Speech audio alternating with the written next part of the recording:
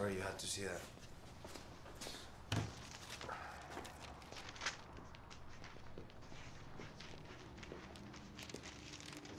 Thought I was picking you up.